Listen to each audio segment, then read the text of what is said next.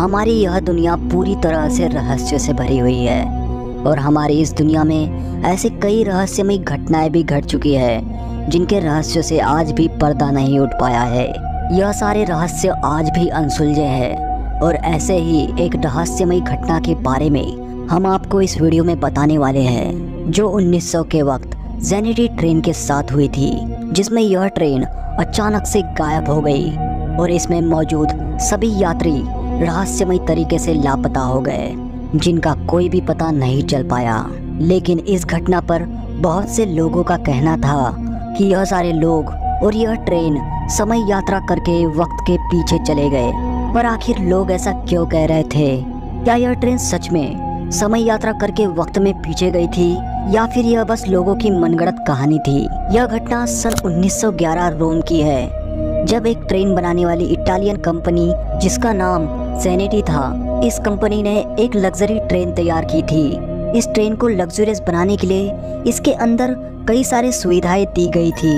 इस ट्रेन को उस समय के सबसे बेहतरीन तकनीक से बनाया गया था और इस ट्रेन के पहले यात्रा के लिए 106 लोगों को चुना गया था, जो इस ट्रेन के आने जाने तक का पूरा सफ़र तय करने वाले थे। मतलब यह लोग अंतिम स्टेशन तक जाएँगे और वापस अपने स्टेशन में आ जाएँगे।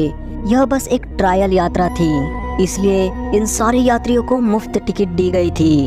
इन सभी यात्रियों के लिए ट्रेन में खाने पीने की सारी व्यवस्थाएँ की गई थी, क्योंकि बाद में जब यह लोग ट्रेन से उतरे तो इस ट्रेन की तारीफ़ करे और यह ट्रेन लोगों के बीच लोकप्रिय हो।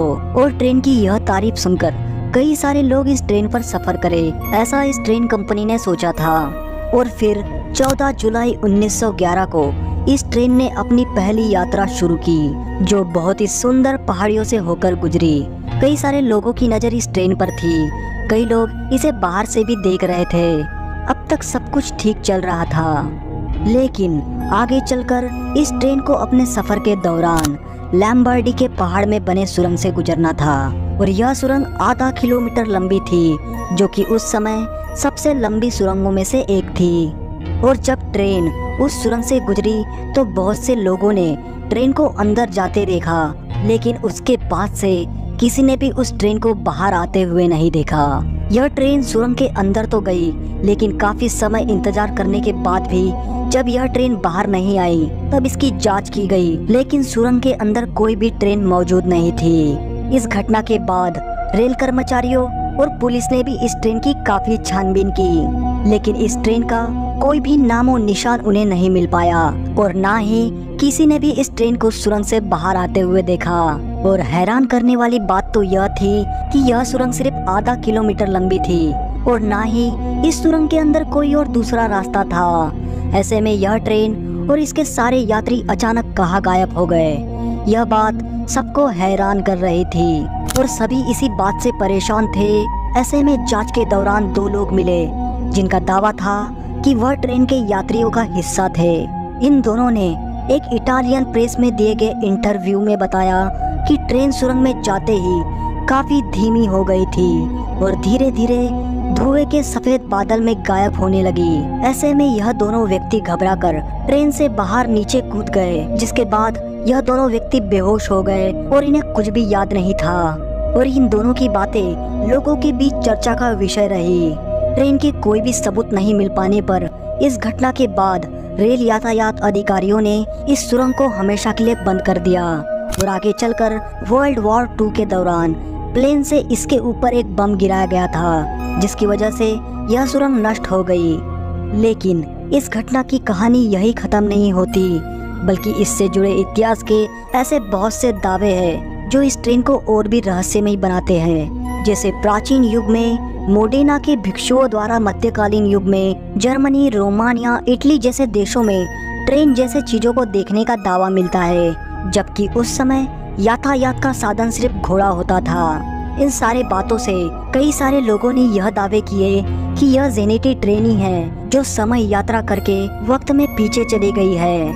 इसके अलावा ट्रेन में मौजूद किसी यात्री के रिश्तेदार ने जब पुराने पुरालेखों को देखा तो उसे 1840 का एक अस्पताल का रिकॉर्ड मिला, जिसमें उस रिकॉर्ड के अनुसार एक दिन में एक साथ ही 104 लोगों को उस अस्पताल में भर्ती किया गया था। सभी लोग अजीबोगरीब कपड़े पहने हुए थे और सबकी हरकतें अजीबोगरीब थी और भर्ती किए गए मरीजों में से किसी एक के पास एक सिगरेट का डब्बा था, जिसमें 1907 लिखा हुआ था और यह डब्बा आज भी मैक्सिकन के एक संग्रहालय में संरक्षित किया गया है। इसके बाद से यह माना जाने लगा कि यह 104 लोग जो अस्पताल में भर्ती हुए थे, वह दरअसल जेनेटी ट्रेन से गायब हुए लोग हैं, जो समय यात्रा में फंसकर 1840 में पहुँच गए थे। जेनेटी ट्रेन से जुड़ी एक और घटना 29 अक्टूबर 1955 को यूक्रेन के एक छोटे शहर जावालीची पर घटी, जब ड्यूटी पर मौजूद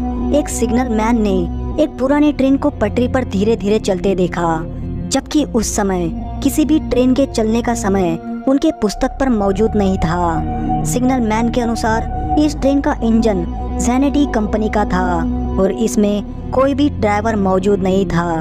ट्रेन के डिब्बे, खिड़कियाँ, पर्दे सब लगे हुए थे और कुछ समय बाद ट्रेन अचानक से गायब हो गई। यह सारी घटनाएँ और इससे जुड़े सारे दावे यही बताते हैं कि जेनेटी ट्रेन ने उस गुफा में समय यात्रा की है। और ट्रेन में मौजूद सभी यात्री एक टाइम लूप मतलब समय यात्रा में फंस गए।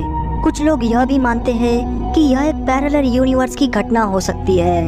जैनिटी ट्रेन की यह घटना कुछ लोगों के अनुसार एक सच्ची घटना है, जिसे वह सारे लोग समय यात्रा से जोड़कर देखते हैं। लेकिन कुछ लोगों के अनुसार यह सिर्फ़ एक मनगढ़ंत कहानी है। जैनिटी ट्रेन की घटना पर संदेह करने वालों का सबसे बड़ा कारण तो यह है कि इस घटना को लेकर जितने भी आर्टिकल्स इंटरनेट पर मौजूद है, वह कुछ ही साल पुराने हैं। और अगर यह बात सच होती तो सौ से अधिक लोगों का इस तरह रहस्यमय तरीके से गायब हो जाना मानव इतिहास की सबसे बड़ी घटनाओं में से एक होती। और इसके अलावा सैनिटी ट्रेन से जुड़े अन्य दावे, जैसे मोडेना भिक्षुकों को ट्रेन दिखना 1840 में एक साथ 104 लोगों का अस्पताल में भर्ती होना, या फिर मैक्सिकन संग्रहालय में सिगरेट के डिब्बे का रखा होना, इन सारे दावों की तख्ता जानकारी इंटरनेट पर कहीं पर भी मौजूद नहीं है। और अगर बात समय यात्रा की हो तो विज्ञान के अनुसार यह संभव है। लेकिन यह भी सच है कि फ़िलहाल इंसानों के पास समय यात्रा करने की कोई भी तकनीक मौजूद नहीं है। इस घटना और इन सारे दावों को लेकर आपकी क्या राय है, हमें कमेंट में ज़रूर बताएँ।